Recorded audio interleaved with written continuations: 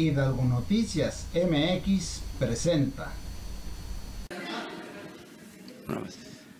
Buenos días, presidente. Alberto Rodríguez, SDP Noticias. Más allá de que, por supuesto, que el Poder Judicial es autónomo y la Fiscalía ahora también es autónoma, creo que lo que muchos mexicanos quieren saber es su opinión personal sobre el caso de Rosario Robles, ya que pues ella fue un miembro importante de la izquierda en al final del siglo pasado, que fue colaborador suyo, incluso también de, la ahora canciller. Eh, y la pregunta va para los dos. Una opinión, una reflexión personal sobre lo que ha sucedido con Rosario Robles, cómo pasó de la izquierda a uno de los gobiernos más corruptos de los últimos años y cómo ha terminado ahora en prisión.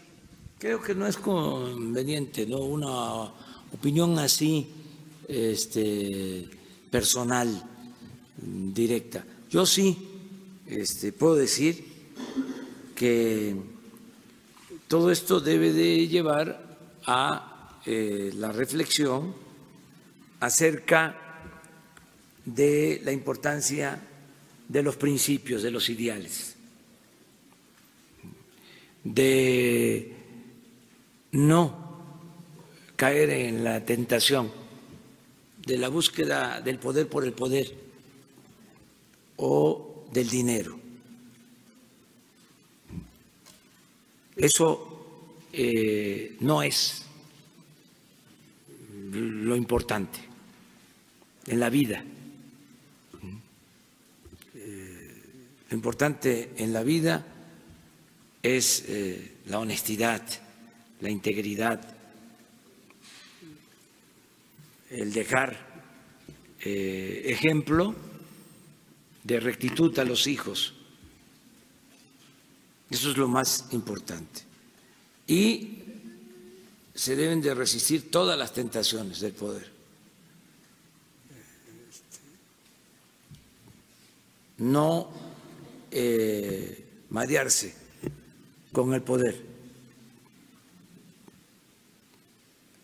Aun cuando dicen de que es muy difícil que la gente cambie o que no cambie, en este caso, este, yo sostengo que sí se puede, si está uno bien anclado, si tiene unos principios, tiene unos ideales, se pueden resistir todas las tentaciones del poder.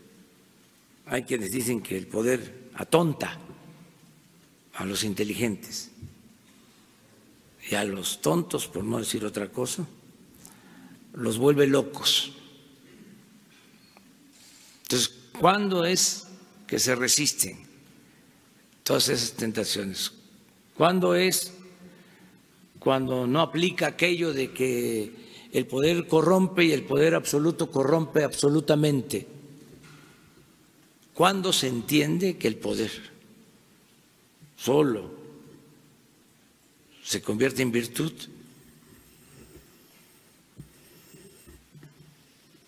Solo sirve y se convierte en virtud cuando se pone al servicio de los demás, cuando hay ideales, cuando hay principios. Eso es lo más recomendable. Entonces hay muchos por la tradición politiquera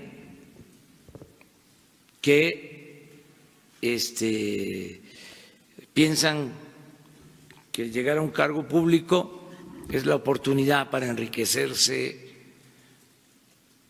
para este,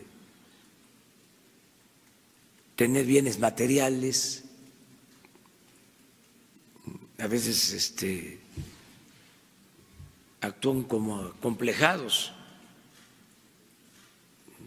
inmediatamente mansiones y carros y achichincles, este,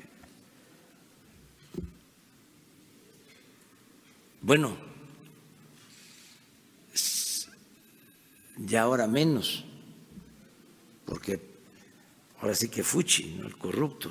Fuchi, el fantoche, pero antes se sentaban atrás en el carro, el chofer adelante y ellos atrás. Una humillación. Entonces, una forma de hacer política nefasta. Por eso hay que estigmatizar la corrupción, no este, considerar que eso es eh, válido y que eh, es de gente eh, audaz, que son muy vivos. Eso es lo único que se puede decir, que le piensen, porque imagínense la vergüenza para un corrupto.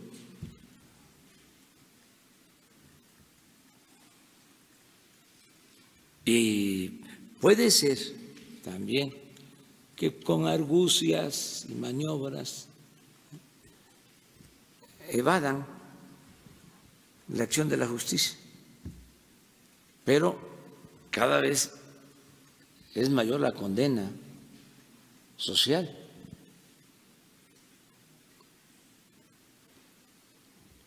Puede ser que no sean juzgados porque legalmente no haya pruebas. Se decía antes, este, se le acusa de ratero, no de tonto este, pero pues eh, en la calle, este, donde estudian sus hijos, o sea que eso es lo más lamentable de todo. ¿Qué culpa tienen los hijos de un papá corrupto?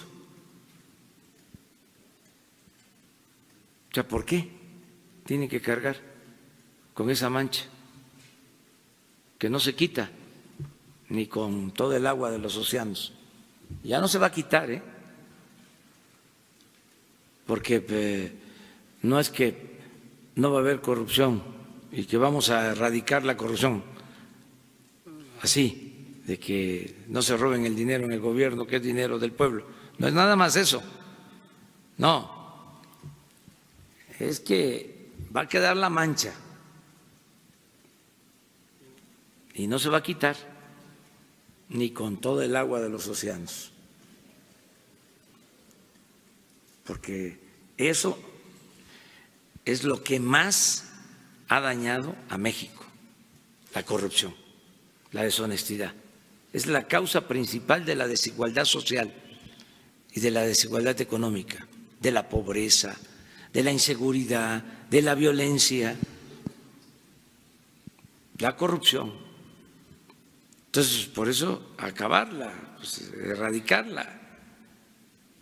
Eh, ese es eh, nuestro propósito. Y es muy lamentable todo esto.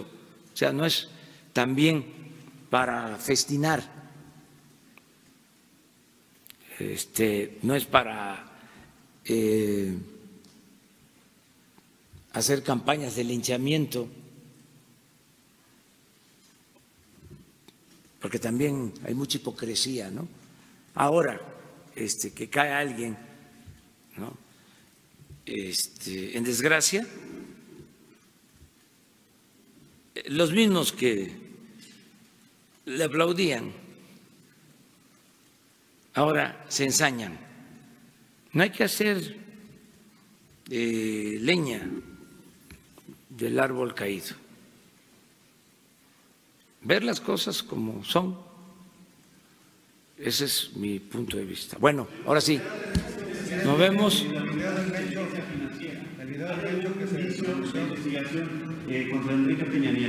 No, no hay. Dice también que eh, hay otros, eh, que ella recibía órdenes directamente del, expresidente o que informaba al presidente. ¿Hay algún indicio de investigación? Está este, el proceso abierto, ya lo dije ayer este, es el juez el que tiene que este, decidir si se abre la investigación, si se llama a declarar a otras personas, pero por lo que corresponde a nosotros, en el caso de inteligencia financiera, no tenemos información.